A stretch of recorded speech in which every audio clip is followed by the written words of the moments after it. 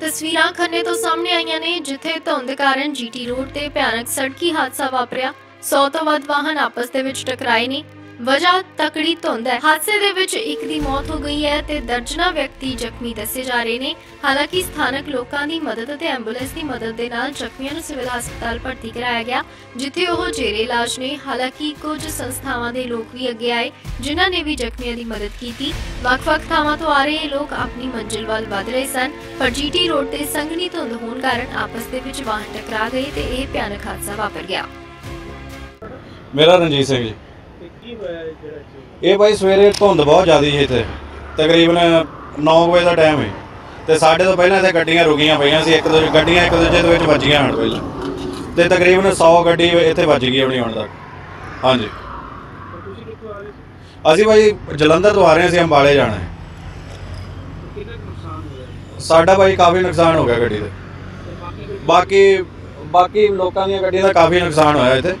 ਪਰ ਜਾਨੀ ਉਹ ਆਪਣਾ ਸਹਿ- ਸਹੀ ਰਹਿ ਗਿਆ ਸਾਰਿਆਂ ਨਾਲ। ਹਾਂਜੀ ਹਾਂਜੀ ਹਾਂਜੀ ਹਾਂਜੀ।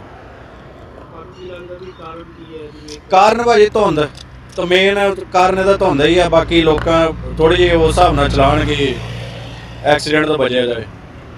ਹਾਂਜੀ। ਸਿੰਘ ਸਾਹਿਬ ਕੀ ਮੈਟਰ ਹੈ ਜਿਹੜਾ ਇਹ ਸਵੇਰੇ ਐਕਸੀਡੈਂਟ ਹੋਇਆ ਜੀ ਜੀਟੀ ਰੋਡ ਦੇ ਹਾਈਵੇ ਦੇ ਉੱਤੇ। ਇੱਕ ਗ੍ਰੀਨਲੈਂਡ ਹੋਟਲ ਦੇ ਮੂਹਰੇ ਉੱਪਰ ਜੇ ਚੜ੍ਹਦੇ ਆਪਾਂ ਜੀਟੀ ਰੋਡ ਦੇ ਉੱਤੇ ਇਹ ਅ, ਸਰਹੰਦਾ ਬੰਦਾ ਹੈ। ਇਹਦੀ ਡੈਥ ਹੋ ਚੁੱਕੀ ਹੈ ਤੇ ਜਿਹੜਾ ਉਹ ਆਪਣਾ ਅ, ਗੁਲਜ਼ਾਰ ਕਾਲਜ ਦੇ ਵਿੱਚ ਐਕਸੀਡੈਂਟ ਹੋਇਆ, ਉੱਥੇ ਤਿੰਨ ਬੰਦੇ ਆਏ ਆ ਫੱਟਣ ਉਹਨਾਂ ਦਾ ਕਿਸੇ ਜਾਨੀ ਨੁਕਸਾਨ ਨਹੀਂ ਹੋਇਆ। ਇਸ ਕਰਕੇ ਵੀ ਅਸੀਂ ਇੱਕ ਗੱਡੀ ਦੁਆਰਾ ਫੇਰ ਭੇਜੀ ਹੈ ਉੱਥੇ ਤਿੰਨ ਫੱਟੜ ਹੋਰ ਹੈ ਜਿਹੜੇ ਕਿ ਸਾਡੀ ਸੇਵਾ human welfare programme Mahakal blood ਸੇਵਾ ਨਰ ਸੇਵਾ, ਨਾਰਾਇਣ ਸੇਵਾ ਤੇ ਭਾਈ ਘਰਈਆ ਸੇਵਾ ਸੁਸਾਇਟੀ ਦੇ ਸਾਰੇ ਮੈਂਬਰ ਆਪਣੀ ਗੱਡੀ ਲੈ ਕੇ ਗਏ ਆ, ਜੋ ਅਸੀਂ ਇੱਥੇ ਫ੍ਰੀ ਚਲਾ ਰਹੇ ਹਾਂ ਤੇ ਐਟ ਅ ਟਾਈਮ ਪ੍ਰਸ਼ਾਸਨ ਦੇ ਐਸਐਚਓ ਸਾਹਿਬ ਪਹੁੰਚੇ ਸੀਗੇ, ਨਾਲ ਪੁਲਿਸ ਪ੍ਰਸ਼ਾਸਨ ਪਹੁੰਚ ਗਿਆ। ਅਸੀਂ ਸਿਵਲ ਹਸਪੀਟਲ ਦੇ ਵਿੱਚ ਇੱਕ ਡੈੱਡ ਬੋਡੀ ਰੱਖ ਚੁੱਕੇ। ਤੇ ਅ, ਕਿੰਨੀਆਂ ਗੱਡੀਆਂ ਪਈਆਂ ਨੇ? ਇਹ 7-8 ਗੱਡੀਆਂ ਜੀ ਜਿਹੜੀਆਂ ਬੱਸਾਂ ਤੇ ਟਰੱਕ। ਉਹਦੇ ਵਿੱਚ ਬੀਜੇ ਤੋਂ ਅਸੀਂ ਫਿਰ ਟ੍ਰੈਫਿਕ ਜਿਹੜਾ ਉਹ ਡਿਵਾਈਡ ਕਰਵਾਇਆ ਥੱਲੇ ਨੂੰ।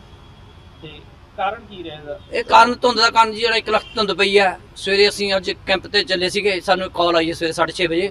ਇਸ ਕਰਕੇ ਵੀ ਕੈਂਪ ਤੇ ਜਾਣ ਤੋਂ ਪਹਿਲਾਂ ਸਾਨੂੰ ਕਾਲ ਆਈ ਜਦ ਅਸੀਂ ਫਟਾਫਟ ਆਪਣੀ ਗੱਡੀ ਲੈ ਕੇ ਉੱਥੇ ਪਹੁੰਚੇ। ਸਾਡੇ ਭਾਈ ਕਨਈਆ ਸੇਵਾ ਸੁਸਾਇਟੀ ਦੇ ਰਾਹੁਲ ਗਰਗ ਬਾਬਾ ਜੀ, ਮੁਕੇਸ਼ ਸਿੰਘ ਜੀ ਔਰ ਸਾਰੇ ਸਾਡੇ ਚੰਦਨ ਨੇਗੀ ਜੀ, ਸਾਰੇ ਅਸੀਂ ਲੱਗੇ ਹੋਏ ਆ ਔਰ ਡੈੱਡ ਬੋਡੀ ਜੋ ਹੈ ਅਸੀਂ ਰਖਾਤੀ ਹੈ ਤੇ ਜੋ ਫੱਟਣ ਹੈ, ਇੰਜਣ ਹੈ, ਜੋ ਉਹ ਅਸੀਂ ਸਿਵਲ ਹਸਪੀਟਲ ਪਹੁੰਚਾ ਰਹੇ ਹਾਂ, ਤਿੰਨ ਆ ਗਏ ਤਿੰਨ ਹੋਰ ਆ ਰਹੇ ਹਾਂ। ਖੰਨਾ ਤੋਂ ਬਿਊਰੋ ਰਿਪੋਰਟ NC7 ਨਿਊਜ਼।